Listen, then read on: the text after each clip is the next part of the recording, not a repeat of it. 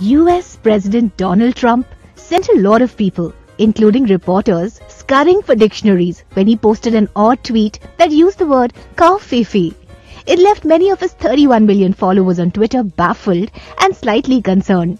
Most people think he meant to write press coverage and it was a typo error. The strange tweet remained up for at least an hour after it first appeared.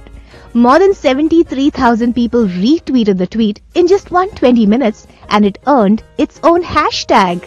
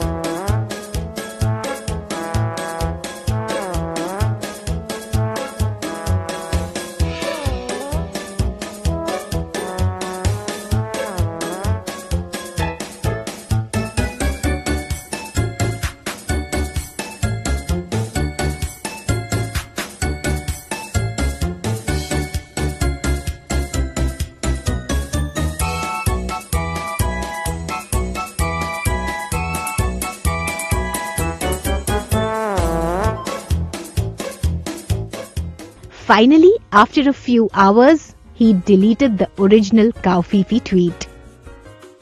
Prior to this week, videos of Trump's meeting with the Pope were quite a rage on the internet. The video showed the US president and the pontiff standing next to each other. The camera then zooms in to show Trump trying to hold the Pope's hand, which he swats away in haste. Later, it was revealed that the video is fake.